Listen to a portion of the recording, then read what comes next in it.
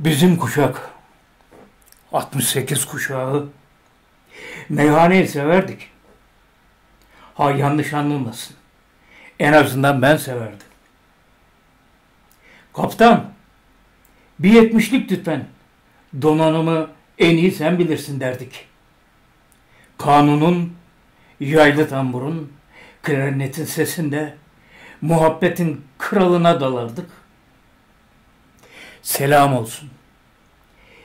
Eski ve yeni tüm dostlara, tüm müzik severlere. Elveda meyhaneci, artık kalamıyorum. Bir başkayım bu akşam, sarhoş olamıyorum.